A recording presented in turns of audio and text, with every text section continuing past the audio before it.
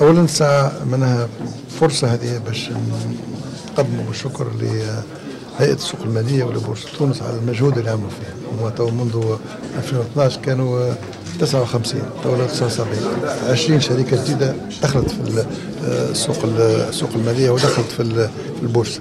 هذا بالطبع مؤشر مؤشر إيجابي.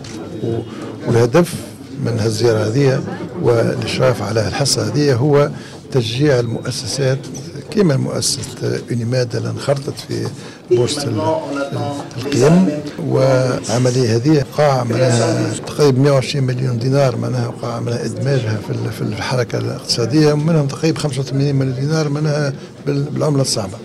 وهذا منها بالطبع منها أساسي وهام بالنسبة لإقتصاد بلادنا.